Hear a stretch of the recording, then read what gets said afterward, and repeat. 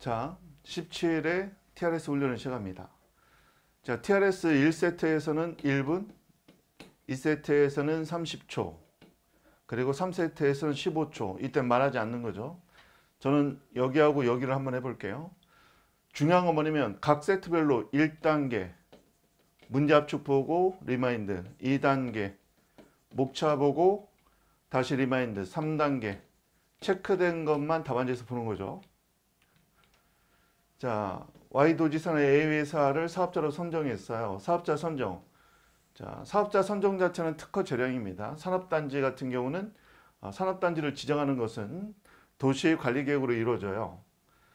계획을 승인했고 산업단지 지정 시 주민의 의견 전치가 없었다. 그럼 저, 계획 계획이 확정되는 과정에서 절차상 하자가 있네요. 취소 사유로 봐야 될 겁니다.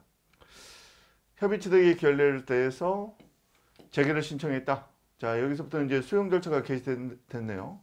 10억의 보상금을 수용 재개로 결정했어요. 수용 재개에 대해서 갑이 취소를 재개 시 Y도지사의 산업단지 지정 산업단지 지정 자체는 도시관리계획에서 이루어진다고 했죠. 하자를 주장할 수 있는가? 하자 승계네요. 쟁송기간 도과됐다. 불가증이 발생했고 인용 가능성 적법 요건은 충족된 것으로 본다.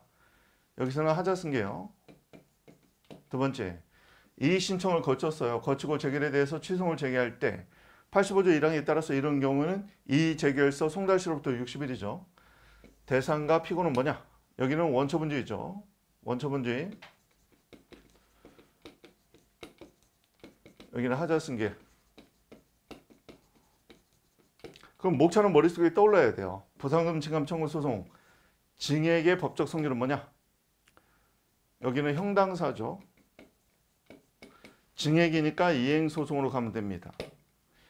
자녀지 존내 목적으로 사용이 곤란해서 재결 절차를 거쳐야 돼요. 이때 걸쳐서 중투에 이의 신청을 하고 자녀지 수용 청구권을 행사했네요. 형성권이니까 행사만으로 효력 발생.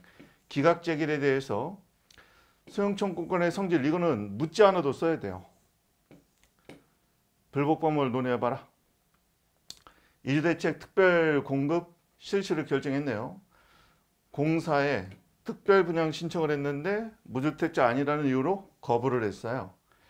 자, 주택공사를 피고로 해서 거부처분 취소를 제기했을 때 소제기 적법성 실제 사실문제에서 출제할 때는 나중에요. 다른 사유를 추가한 것도 나옵니다. 추가한 것도 나와요. 자, 1분 remind 한번 해볼게요. 자, 1번 하자 승계 전제조건 산업단지 지정 구속적 행정계획 통과 수용 재결 수용 재결 원처분. 나머지 요건 충족 따라서 불안 판단. 위법성 주장 하자 승계 인정 여부 별개 법적과 목적 안 된다. 따라서 인용 X.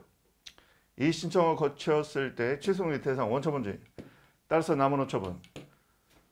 소 피고는 원처분주의 되죠. 부상금 징감 청구 소송 징행 법적 성질 이때는 이행 확인 급부 소송으로서 이행 소송의 성질이 있다. 형당사, 형식적 당사자는 소송이고 징액은 이행 소송의 성질. 수용 청권의 법적 성질 형성권, 기각제에 대한 불복 방법, 85조 이항 부상증감 청구 소송. 사는 거부, 적법성, 대상절격, 거부처분 성립요건, 신청권 필요성, 사안에서 토공, 토고는 어, 고무스탁 사인으로서 이중격치, 행정청이 지위 있고 그리고 특별분양 신청권, 사안에는 법규상 준해상 신청권이 있고 따라서 거부처분, 기타 성립요건 충족, 적법 이 정도 딱 해주면 되는 거예요. 그리고 본인이 놓친 걸 체크합니다. 전제요건 산업단지 지정의 법적 성질을 제대로 못 쓴 사람 많아요. 특히 행정계획이라는 거 수용재결 관련해서도 써줘야 됩니다.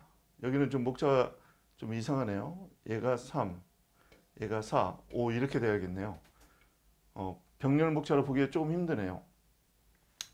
자, 구속적 행정계획이라는 거 꼭 기억하셔야 되겠고 이 부분 놓친 사람들은 이 부분을 체크하고 나중에 읽어봐야겠어요. 다음, 취소의 대상, 원처분주의, 수용재결 원처분의 소의 대상이 된다. 피고는 소의 대상이 원처분이면 수용재결을 행한 어, 토지수용위원회가 되는 거죠. 피고 적격도 그대로 연결됩니다. 공모수탁자 자체가 된다. 부담금 징감 청구 소송의 성질, 형당사 그리고 상한 같은 경우는 이행소송 확인 급부 소송 이행 소송이란 말이에요. 자녀주의 수용 청구권, 형성권, 기각 제기에 대한 불복, 부담금 증감. 체크한 것만 나중에 찾아봅니다. 체크한 것만 나중에 어, 읽어보는 거예요. 대상지역 겨울. 거부처분에 해당되는지, 먼저 행정청인지, 이중적지 얘기해야 되겠네요. 법규상 조리상 신청권 필요성 필요한데 특별 분야 신청권 있느냐? 강연 법규성, 사회법성 통과 있다. 잘 모르면 체크하고 나중에 읽어보세요.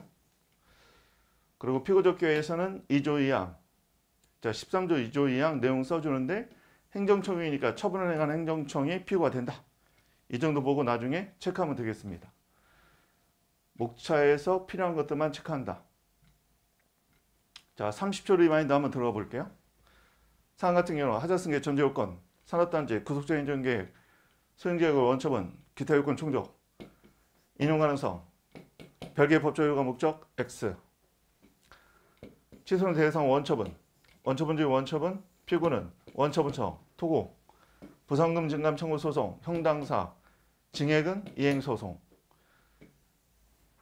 수용 청구권, 형성권, 기각재결 불복 방법, 85조 2항, 보상금 증감 청구 소송, 사항 거부처분 승인 요건, 신청권 필요성, 특별 분양 신청권 있고, 그리고 사안의 토공은 공무수탁 사인으로서 처분청, 따라서 적법.